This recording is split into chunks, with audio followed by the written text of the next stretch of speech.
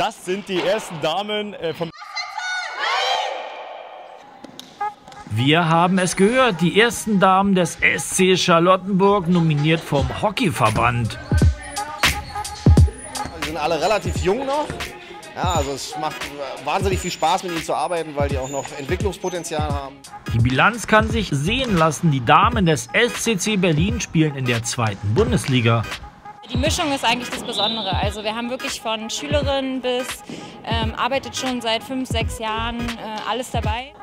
Trotz des Altersunterschiedes ersetzen sie sich gegenseitig bestens. Es ist ein super Team von Mädels, die haben einen super Zusammenhalt. Ähm, die sind echte Kämpferinnen. Wenn auch Sie der Meinung sind, dass der SCC Berlin den Amateursportpreis verdient hat, dann stimmen Sie ab für die Hockeydamen aus Charlottenburg.